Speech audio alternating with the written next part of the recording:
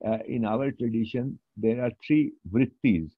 One is bhiksha vritti, one is karma vritti, and one is vaishya vritti. वैश्य वृत्ति उसको बोलते हैं जो एक लेट मी टॉक अबाउट कर्म वृत्ति फ़र्स्ट कर्म वृत्ति उसको बोलते हैं जो जड़ वस्तु से जड़ वस्तु बनाता है जैसे मिट्टी से घड़ा मिट्टी जड़ है ना it is a material object there is no growth in it तो मिट्टी से घड़ा बनाया, मिट्टी से सुराही बनाई, मिट्टी से हुक्का बनाया चिलम बनाया, ये मिट्टी का काम है। मिट्टी से कोई चीज़ उसको शेप दिया, अलग बना दिया। ये लोहे से लोहे से आपने तलवार बना दी, लोहे से आपने कुल्हाड़ी बना दी, लोहे से आपने दराती बना दी। ये सब कर्म वृत्ति में आते हैं, या सुनार का काम, लोहे का काम, बढ़ई का काम चर्मकारों का काम। ये जितने कारीगर समाज का काम है, ये कर्म वृत्ति में आया। फिर वैश्य वृत्ति उसको कहा, जिसमें आप ग्रोथ होती है। जैसे एक बीज से आप एक टन अनाज पैदा कर लेते हैं, या एक गाय से दस गाय हो जाती है, या एक भेड़ से पचास भेड़ हो जाती है तो जहाँ ग्रोथ होती है, वो उस काम में जो लोग लगे रहते हैं, उनको वैश्य वृत्ति के लोग लोग कहा गया। और जो तीसरी वृत्ति है, वो वो हुई भिक्षा वृत्ति तो भिक्षावृत्ति में कौन आए? वैद्य लोग आए, शिक्षक लोग आए, है ना? और वो लोग आए जो कि जैसे हमारे यहाँ बहुत सारी जातियाँ थी जो अपने गाँव का, अपने इलाके का इतिहास याद करके रखती थी। हर एक घर का, कुटुंब का पूरा लेखा जोखा वो लोग याद करके रखते थे कि इस घर में कितने, कब से ये कितनी पीढ़ी का आपके दादा कौन थे, परदादा कौन थे, उसके पहले कौन थे, कहाँ से आए आप, और आपके यहाँ कौन, किससे कौन कौन सी जगह आपकी शादियाँ हुई? तो उस परिवार का इतिहास, गाँव का इतिहास, इलाके का इतिहास and this was all not written but they would be ये सब मेमोरी में होता था। तो वो लोग गा के सुनाते थे। और इन लोगों का एक और काम होता था कि गाँव के इतिहास में दे वुड ऑल्सो रिमेम्बर मान लो कि आपके यहाँ कोई झगड़ा हो गया गाँव में and the, the dispute was resolved in a certain manner. So they would remember all that. तो मान लीजिए आपके गाँव में कोई झगड़ा अब हो गया and you are not able to resolve it. So these people would be called and they would listen to the story, what is the dispute, and they would recall four five incidents which have happened in the past in some other place and they would sing and tell you that फला गाँव में ऐसे ऐसे हुआ फिर उसका ऐसे ऐसे रेजोल्यूशन निकला तो उससे ये गाँव के लोगों को आइडिया लग जाती थी कि अच्छा हम भी ऐसा कर सकते तो ये लोग भी भिक्षावृत्ति के लोग थे। तो इस तरह के बहुत सारे म्यूजिशियंस भिक्षावृत्ति के लोग थे, जो गाते थे। गाँव गाँव जाके गाते हैं, या नाचते हैं, या बहुरूपिया जो होते थे, या जो सांप को, या रीछ को रखने वाले लोग थे, ये लोग सब भिक्षावृत्ति के लोग थे। तो this there was a tradition this was not भीख they are serving you some people are keeping your history and telling you and educating you about your past and about many other things in the region कि वहाँ तालाब है उस तालाब का ये है उधर नदी है नदी की क्या क्या खूबियाँ हैं पेड़ों की क्या क्या खूबियाँ हैं दवाई कौन कौन सी बनती है ये सारी उनके पास उसका ज्ञान रहता है और वो जनता के बीच में जाके गा के बताते हैं जब गा के बताते हैं तो आपको भी कुछ याद रह जाता है और वो आपके काम की चीज़ होती है। तो ये लोगों का समाज में एक भूमिका है, थी। तो इस, इनको समाज उसके बदले में अनाज, उनके बदले में कपड़े, उसके बदले में उनके चीज़, ज़रूरत की चीज़ें देता था। ये भिक्षा थी, वैसे ही वैद्यों के साथ।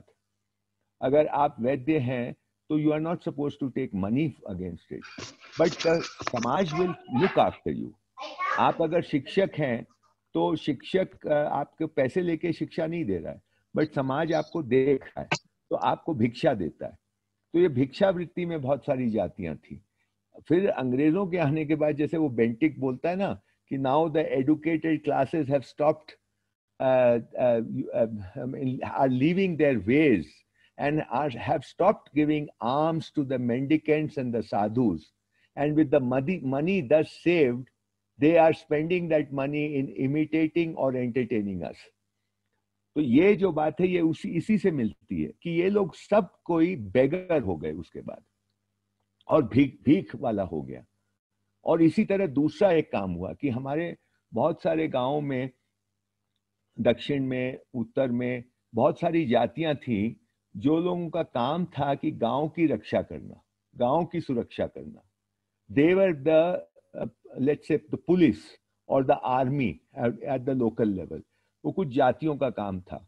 वो वो काम उनका था साथ साथ में वो कुछ और काम भी करते थे। जैसे परियार जाति है दक्षिण में, जिसको बोलते हैं बहुत दलित है और ब्राह्मण लोग उनको, उसकी छाया भी देख लेते थे तो जाके नहाते थे। ये सब कहानियाँ बन गई हैं।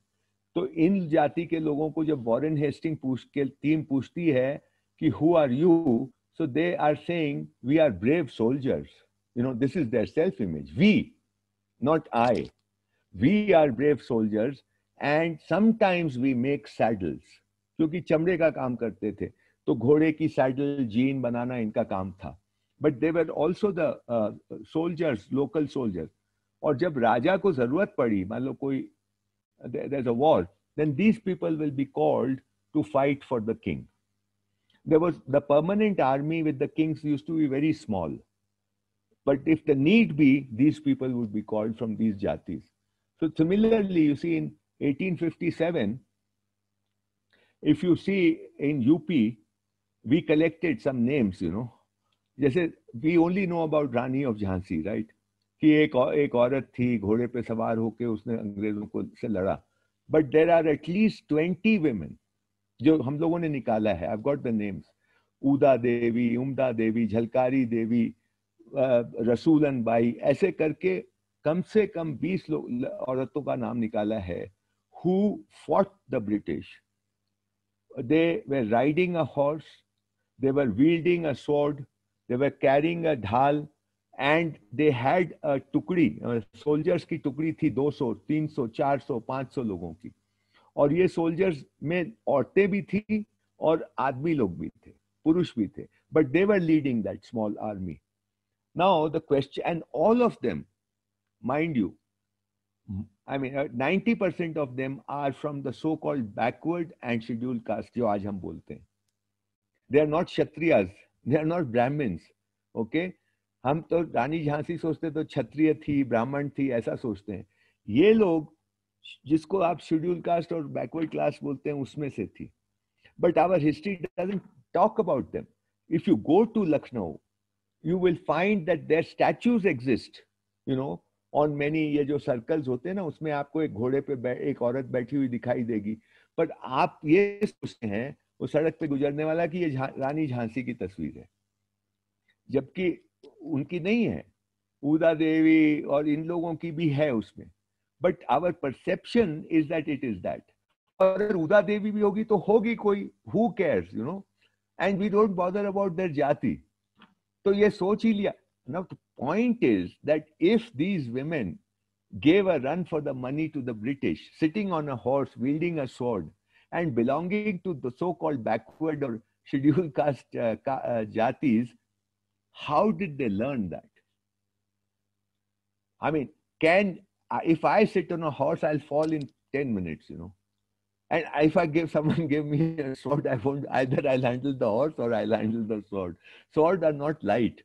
और एक हाथ में स्वॉर्ड और एक हाथ में ढाल और लड़ाई कर रहे हैं और घोड़े पे बैठे हैं इसके लिए बहुत ट्रेनिंग चाहिए और ये औरत को ऐसे ही हो गया ये मतलब she must have been trained from childhood and then that leadership to lead 200 400 people so there no one sees you know we don't connect the dots कि यार ये कैसे हो गया?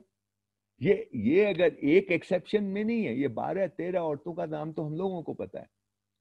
तो इसकी ट्रेडिशन रही होगी ना ये हम लोगों के दिमाग में बैठा दिया नहीं नहीं क्षत्रिय लोग ही लड़ते थे और वो ही लोग राज करते थे और ये लोग तो बेचारे दबे कुचले थे। You know it doesn't make sense if you look at it this way if we have to read history, we'll have to really see and see these contradictions and raise questions. What is being taught to us?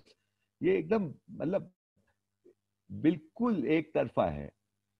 उसमें, हो सकता है गलत ना हो, लेकिन वो दूसरी बात को छुपा दिया है, बिल्कुल। बहुत सारे इस तरह की चीज़ें निकलती if you start looking at things you know ये जाति वाला तो मामला बिल्कुल मतलब ये बहुत गड़बड़ है इसमें। But I feel it, we are at a very precarious uh, this thing. Right. We need another five to ten years before we can say that now they have taken roots. You know, this what we are doing, this kind of a thing has taken roots.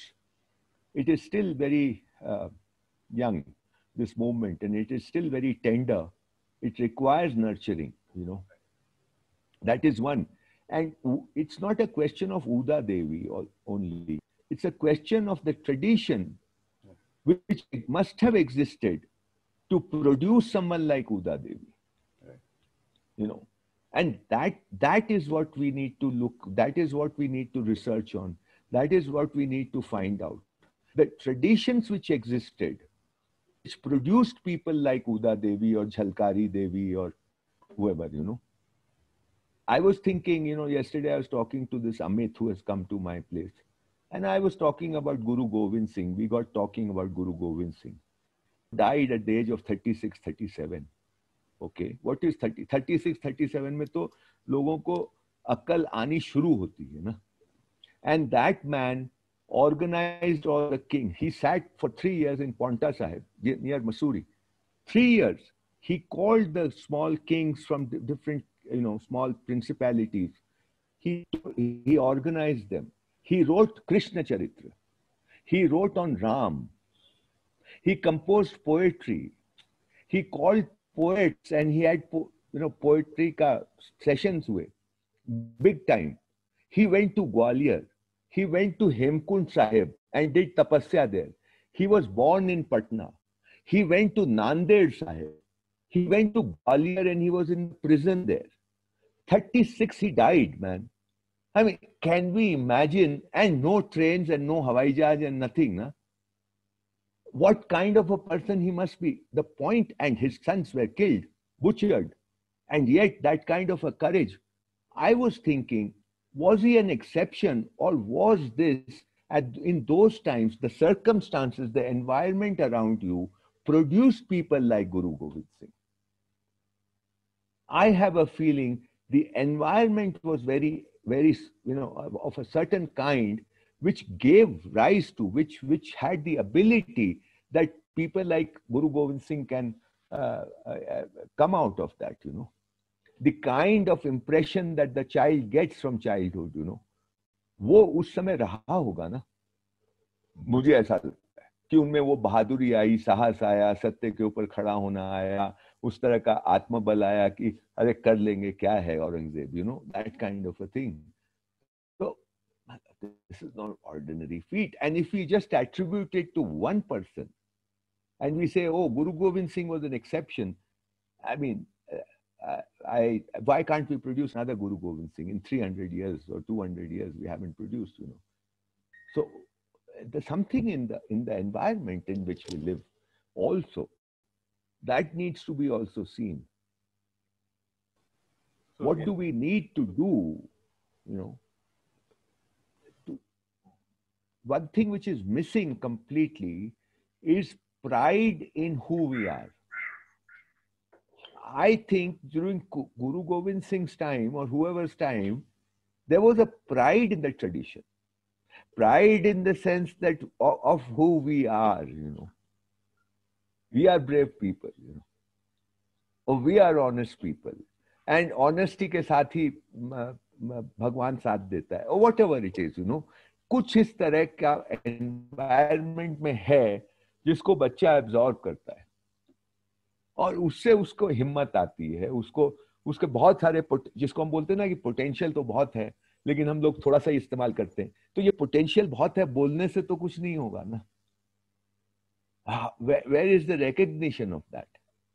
And what do we do so that the child recognizes that that potential is there? If you say, oh, we are brave people, you know, or we come from a tradition who are like this, then the child is not like that, but he believes that, yes, it is possible. It is possible. It is there in my tradition. So if it is there, I will also get it. Or I will also become like that. That is something, this rootedness, you know, ये इसको कैसे फिर से establish किया जाए?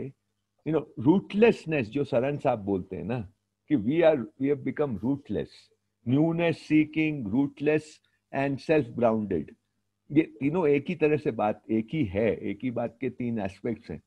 How do we go back to connecting with the roots and root doesn't mean that we start wearing a tilak and we start wearing a mala I mean wear it's all right no problem but it's not just that it's not just gati you know it has to be sthiti ki rootedness of course this i think this what we are trying to do, this connection with truth and all that is somewhere leading to that.